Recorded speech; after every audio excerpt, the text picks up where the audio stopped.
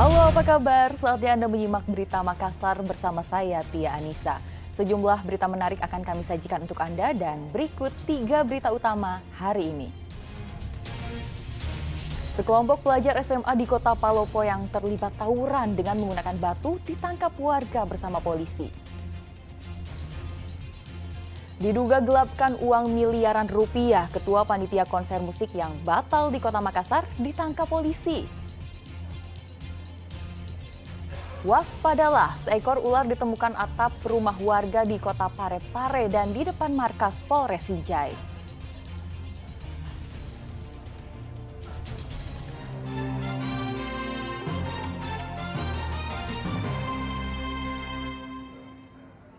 Kita ke informasi pertama. Sekelompok pelajar SMA di kota Palopo terlibat tawuran pada Senin sore dengan menggunakan batu. Warga bersama polisi langsung membubarkan dan menangkap sejumlah pelajar.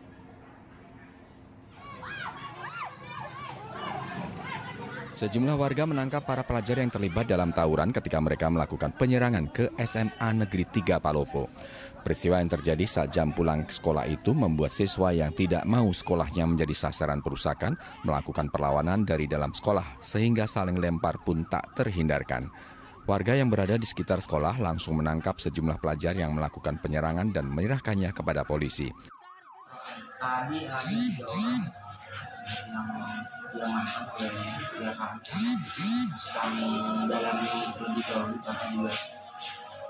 untuk identitas dan yang lainnya juga kami masih dalam Polisi yang melakukan penyisiran kembali mengamankan pelajar yang diduga sebagai pelaku. Polisi akan memanggil pihak sekolah dan orang tua siswa untuk menentukan sanksi bagi mereka yang terlibat tawuran. Wahyu Baso melaporkan dari kota Palopo. Kita ke informasi lain, seorang balita laki-laki berumur satu tahun tiga bulan di kota Makassar terlindas sebuah mobil pada bagian kakinya. Beruntung nyawa sang anak selamat meski mengalami pembengkakan pada kedua kakinya.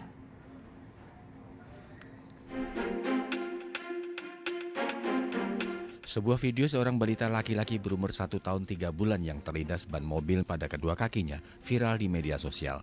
Peristiwa tersebut terjadi di Jalan Adiaksa 7, Kecamatan Panah Kukang, Kota Makassar. Saat kejadian, seorang pengemudi wanita bernama Ati menyinggol seorang anak balita hingga terjatuh saat bermain di jalan. Mobil pun kemudian melindas kaki sang bocah. Pengemudi tersebut sempat berhenti namun tidak melihat anak tersebut sehingga mobil kembali berjalan dan kembali melindas kedua kaki sang anak. Ibu korban yang mengetahui setelah anaknya menangis usai terlindas ban mobil, kemudian menggendong sang anak ke rumah. Beruntung nyawa sang anak selamat dan hanya mengalami luka dan pembengkakan pada kakinya.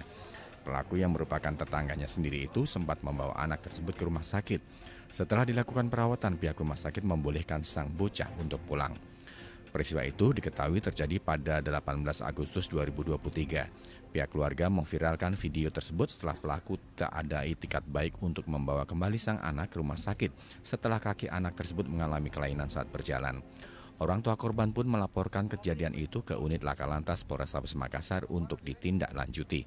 Kedua belah pihak akhirnya dimediasi dan terjadi kesepakatan untuk membawa anak tersebut ke rumah sakit untuk perawatan. Lakukan mediasi, kemudian kita lakukan uh, laporan polisi kita kasih lengkap, kita amankan barang bukti, kemudian dari kedua pihak baik korban maupun pelaku sudah uh, sepakat. Jadi kita mengambil keputusan ini bukan kami dari kepolisian sendiri, kita hanya mediasi untuk masalah yang terjadi uh, di tanggal 18 Agustus. Tapi ya. kesepakatan dari mediasi itu belum ada ya Pak? Ya. Kesepakatan dari mediasi itu belum ada? Itu kesepakatannya besok akan dibawa ke rumah sakit. Meski pihak penabrak bersedia menanggung biaya pengobatan rumah sakit, namun kepolisian tetap mengusut kasus tersebut dengan mengamankan mobil sebagai barang bukti. Raisa Abu melaporkan dari Makassar. Seorang ibu rumah tangga di kota Makassar ditangkap aparat gabungan dari Resmo Polda Sulsel bersama jajaran Polda Papua karena diduga melakukan penipuan dan penggelapan uang sebesar 1 miliar rupiah. Modus pelaku adalah menjanjikan anak korban bisa diterima di Akademi Kepolisian. Tim gabungan Resmob Polda Sulsel bersama jajaran Reskrim Polda Papua menangkap Farida Chandrasari, seorang ibu rumah tangga yang masuk dalam daftar pencarian orang DPO Polda Papua. Pelaku ditangkap di tempat persembunyiannya di Jalan Beruang, Kota Makassar karena diduga terlibat penipuan dan penggelapan uang 1 miliar rupiah dari korbannya.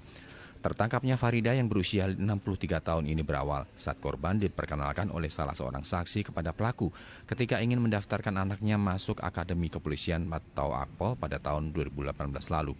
Saat keduanya bertemu, pelaku mengiming-imingi korban dengan janji bisa memasukkan ke Akpol karena banyak kenal dengan pejabat kepolisian. Korban yang termakan bujuk rayu pelaku akhirnya menyetujui sebuah perjanjian di mana korban harus membayar ratusan juta rupiah setiap kali anaknya menjalani tes. Total uang yang sudah diberikan mencapai 1 miliar 34 juta rupiah dengan tiga kali pembayaran. Pada akhirnya anak korban dinyatakan tidak lulus pada tes akhir. Korbannya merasa tertipu mencoba untuk menghubungi pelaku, namun pelaku telah kabur. Korban pun melaporkan kasus ini ke Polda Papua. Polda Papua memasukkan pelaku ke dalam daftar pencarian orang DPO karena telah dua kali mangkir dari panggilan polisi. Berdasarkan laporan polisi ini kronologinya adalah uh, dia dia menyanggupi untuk memasukkan anak menjadi akpol di tahun 2018. Nah, kita menindaklanjuti dengan laporan tersebut, yaitu kerja Kamal, kita sudah melakukan pemanggilan dua kali, terus kemudian kita sudah menerbitkan DPO karena dia mangkir, jadi kita terbitkan DPO, Nah, kita koordinasi juga dengan Resmob di Polda Sosial. Nah, kita dapati setelah kita melakukan koordinasi bahwa tersangka ini ada berada di uh, Makassar. Polisi mengamankan barang bukti berupa buku tabungan, beberapa lembar bukti transfer pengiriman uang, serta kartu ATM. Selanjutnya, pelaku akan diterbangkan ke Polda Papua untuk proses hukum lebih lanjut. Pelaku terancam pasal 378 dan 372 KUHP tentang penipuan dan penggelapan dengan ancaman hukuman 4 hingga 5 tahun penjara. Raisa Habu melaporkan dari Makassar. Diduga menggelapkan uang hingga miliaran rupiah, Ketua Panitia Konser Musik di Kota Makassar ditangkap polisi.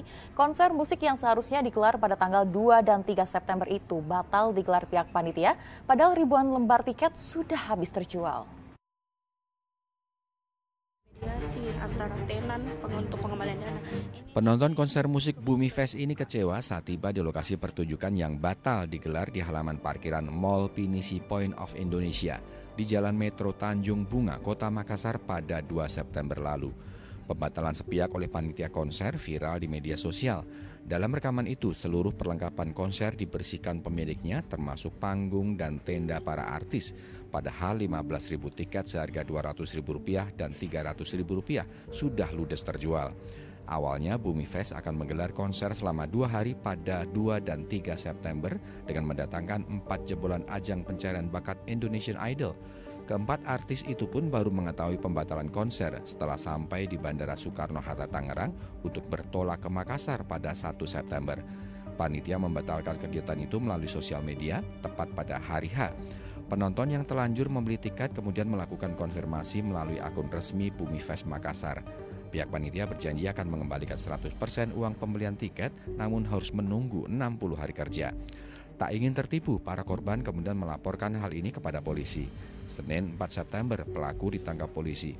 Petugas kemudian menetapkan ketua panitia bernama Muhammad Rasul berusia 22 tahun sebagai tersangka penipuan dan penggelapan uang sebesar miliaran rupiah buntut dari batalnya konser.